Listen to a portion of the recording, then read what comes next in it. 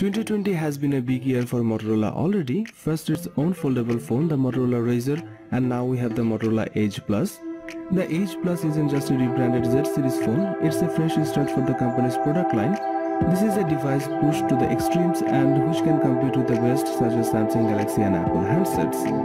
Motorola has furnished the Edge Plus with many elements from the leading flagships. The screen is carved over the sides like the waterfall display from the Samsung Galaxy S20 and Samsung Galaxy Note 10 lines of phones. It doesn't have an IP water and dust resistance rating but Motorola claims its design is water repellent and of course it contains one of the rarest of features on a flagship phone, a 3.5mm headphone jack. The display is 6.7-inch Full HD Plus OLED panel, its large, sharp and the endless edge sides are very attractive. The display's 21 by 9 aspect ratio makes this phone feel narrow, meaning some people may find it awkward to use one-handed. Like many other flagship phones in 2020, you can set the Edge Plus to light up its sides when receiving notification. Another great feature is the 90Hz refresh rate, meaning smooth video and gameplay. The phone's specs are top tier from its Snapdragon 865 chipset to the 12GB of RAM and 256GB of storage. The Motorola Edge Plus packs a traditional quad rear camera setup. The star of the show is the 108 megapixel main shooter which can use pixel binning tech that reduces the megapixel count while effectively expanding the size of each pixel to let in more light. The phone also has an 8 megapixel telephoto camera with 3x optical zoom and a 16 megapixel ultra-wide camera as well as a time of flight depth sensor to enable bokeh effect in portrait shots. The main shooter can also capture video in 6K UHD. Pictures taken with this device looks great with rich color and great dynamic range. On the front there is a 25 megapixel camera for selfies which delivers great picture quality. The Edge Plus is also 5G capable. It packs a 5000 mAh battery and Motorola claims it will last for up to 2 days. Sadly the Edge Plus max out at 18 watt charging which has been the case with the previous Motorola phones. It also supports 15 watt fast wireless charging and 5 watt reverse wireless charging.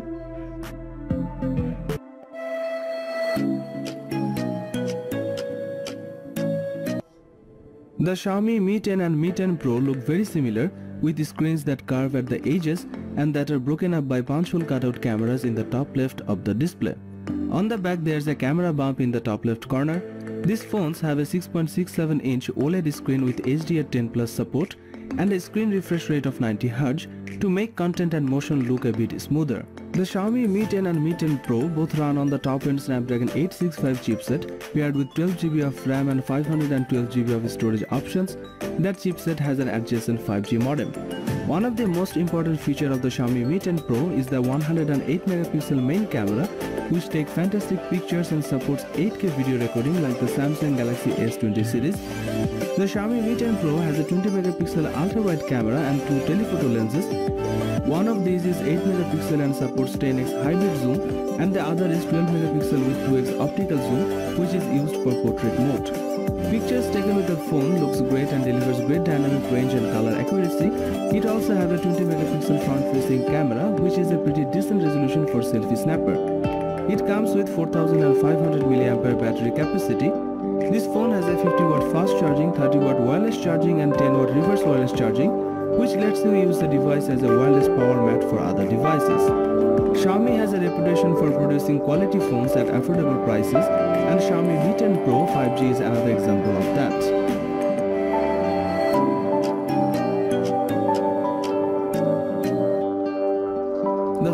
Xperia 1 Mark II comes with a 6.5-inch display that has a 4K resolution. It's a HDR OLED panel. However, the company has included a new feature that will allow for a 90Hz effect on the screen, but it doesn't seem to use an actual 90Hz panel. Sony's latest flagship phone features a 3.5mm headphone jack on the top edge. The design is glass on the front and back, both of which are protected by Corning Gorilla Glass 6 technology. Inside the Sony Xperia 1 Mark II, there is a Qualcomm Snapdragon 865 chipset, which is one of the very best processors on the market. The phone comes with 8GB of RAM to keep it running. Storage-wise, you have got 256GB of space to play with here, and that's expandable with a microSD card. 5G is one of the big talking points of Xperia 1 Mark II. There's no 4G only variant of this phone. The camera is another area Sony's put a spotlight on. The camera includes a 12 megapixel main sensor, a 12 megapixel telephoto one with 3x optical zoom, and a 12 megapixel ultra-wide sensor, alongside a 3D time of flight sensor that will offer groundbreaking autofocus technology. It's using a technology that Sony developed for its alpha range of cameras and the aim here is to give you the best shot through stronger autofocus. This technology can completely autofocus and auto exposure calculations at 60 frames per second while the camera itself can take 20 shots in burst mode each second. But Sony claims it improves autofocus for low light conditions as well as in everyday shooting. The phone can also record video in 4K HDR at up to 60 fps Pictures are amazing with this camera with stunning dynamic range and color accuracy. On the front of the phone there is an 8 megapixel selfie camera and Sony announced they have made significant improvements for front facing shots. Sony has also made some big improvements to the battery on this device by increasing it to 4000 mAh on the Sony Xperia 1 Mark II up from 3330 mAh on the Xperia 1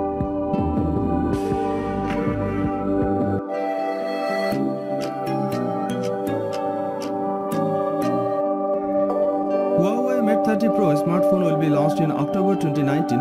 The phone comes with a 6.53-inch OLED touchscreen display with an aspect ratio of 18.5 by 9. It is powered by octa-core HiSilicon Kirin 9907nm processor. It comes with 8GB of RAM. As far as the cameras are concerned, the Huawei Mate 30 Pro on the rear packs quad camera setup consisting of a 40 megapixel main shooter and 8 megapixel telephoto lens and a 40 megapixel ultra-wide lens along with a 3D time of flight camera. There are two cameras on the front for selfies, one is 32 megapixel and another is 3D time of flight sensor. This device is based on EMUI 10 on top of Android 10 and packs 256 GB of inbuilt storage. It is powered by a 4500 mAh battery with 40 watt fast battery charging and 27 watt wireless charging support. It was launched in black, space silver, cosmic purple and emerald green colors.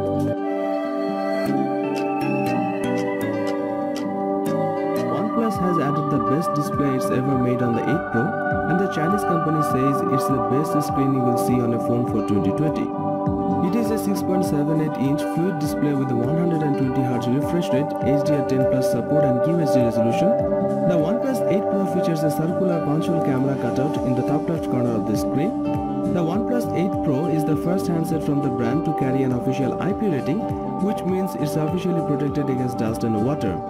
The phone features Qualcomm's top-of-the-line Snapdragon 865 chipset, which comes with Qualcomm's X55 5G modem to enable super-fast internet speeds where 5G is available. The OnePlus 8 Pro packs 4 rear cameras including a 48-megapixel main camera with an 1.78 aperture. There's also a 8-megapixel telephoto camera with a 3x optical zoom and ultra-wide 48-megapixel camera with a 119-degree field of view and a dedicated 5-megapixel color filter camera that lets you apply artistic filters as you are shooting. The OnePlus 8 Pro's main 48MP camera and wide-angle shooter take sharp and vibrant shots, especially in outdoor lighting. The dynamic range and color accuracy is great. In addition to that, the camera's 3x lossless zoom can take pictures without losing detail. It can also digitally zoom up to 30x, but the photo quality really degrades at this level. The camera can also shoot 4K video and has optical image stabilization. On the front there is a single 16 megapixel selfie camera which delivers stunning quality. Overall the OnePlus 8 Pro cameras are a big improvement over the camera setups found on the 7 Pro and 7T Pro. The OnePlus 8 Pro comes with a sizable 4510 mAh battery which is the biggest OnePlus has ever put in a handset the OnePlus 8 Pro could comfortably last a day on a single charge with typical uses including gaming, video playback, social media, messaging, video calls and photography.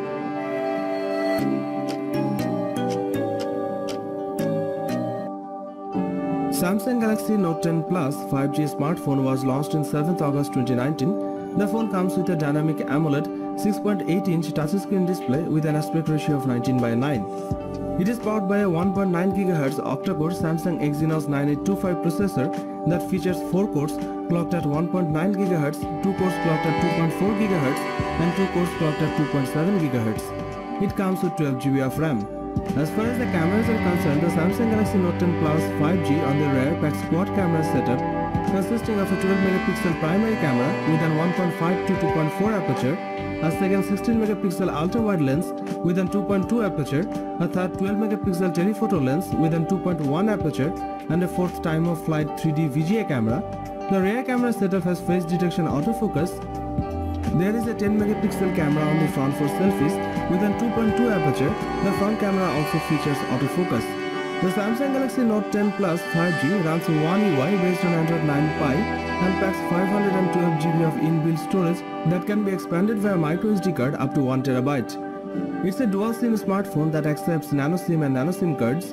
This device is powered by a 4300 mAh battery with 45 watt fast charging support. It also supports 15 watt fast wireless charging. This smartphone also supports face unlock. It was launched in Aura Black, Aura Glow and Aura White colors.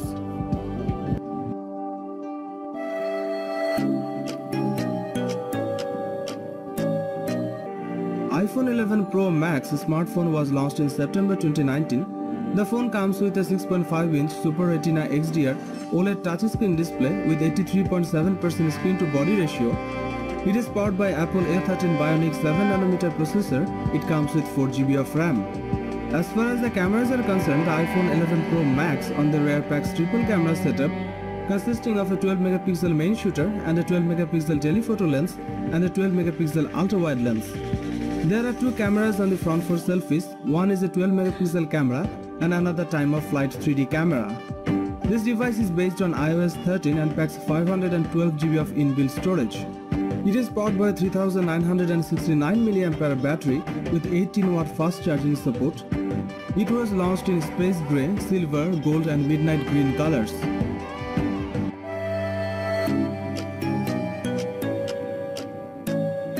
The P40 Pro features a quad curve overflow display with curved glass at all four edges. There are still very thin bezels at the top and bottom. The 6.58-inch screen on the Huawei P40 Pro has a resolution of 1200 by 2640.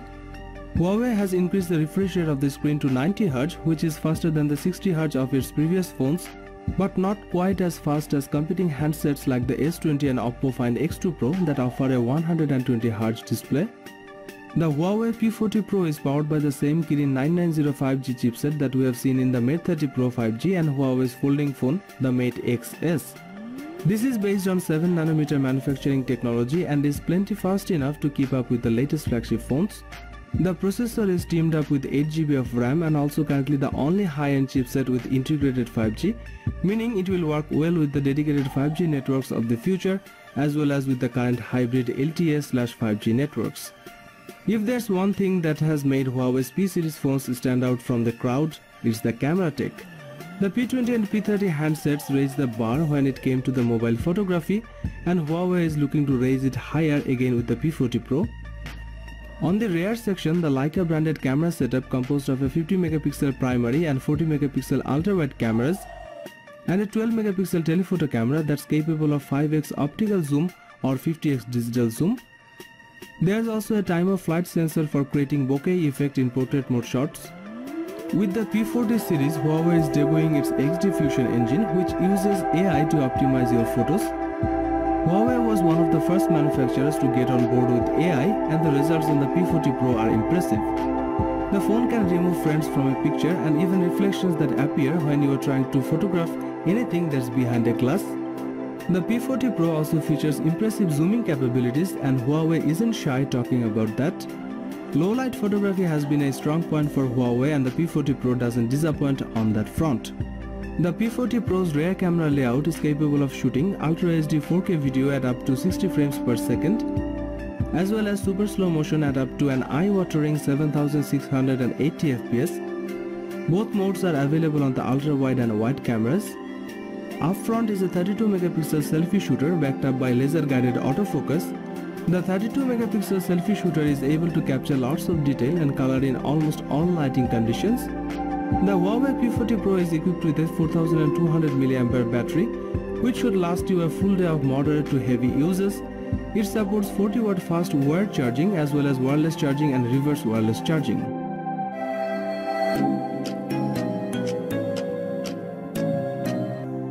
The Galaxy S20 Ultra is Samsung's biggest Android phone and it lives up to its name. It is the first Samsung phone with a 120Hz display. Samsung's 6.9-inch display will push the boundaries of your finger's reach, but it won't feel much bigger than the S10 Plus.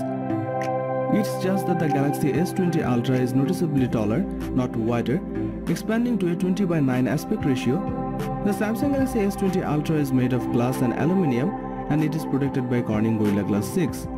The specs of this smartphone rival the likes of laptops, meaning it's more than you will ever need.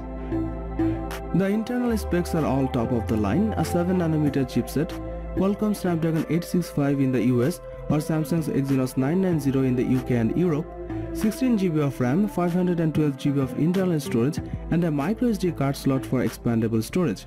The S20 Ultra has a 108 megapixel 1.8 aperture main camera, a 48 megapixel 3.5 aperture telephoto camera and a 12 megapixel 2.2 aperture ultra wide camera. There's also a time of flight depth camera on the back aiding portrait photos and 3D scans and a 40 megapixel selfie camera on the front. It's Samsung's biggest camera sensor upgrade since the Galaxy S7 and S7 Edge. The main 108 megapixel camera delivers great quality pictures with stunning details. The camera performed well in almost every light condition. The telephoto lens is capable of 10x lossless zoom and a crazy 100x space zoom. Pictures from the selfie camera delivers great dynamic range and quality. The Samsung Galaxy S20 Ultra camera introduces 8K resolution video recording and steady stabilization. 8K is going to allow you to crop and edit video without sacrificing quality, while the 4K will give you more frame rate and zoom options. Samsung super fast charging returns on the S20 Ultra up to 45 watt with an optional charger and 25 watt with the charger included in the box. It also supports 15 watt fast wireless charging. Samsung equipped this phone with a massive 5000 mAh battery which is the biggest in a Galaxy S series device. Samsung Galaxy S20 has a lot of potential. Samsung promised something amazing will happen in 2020 and here it is.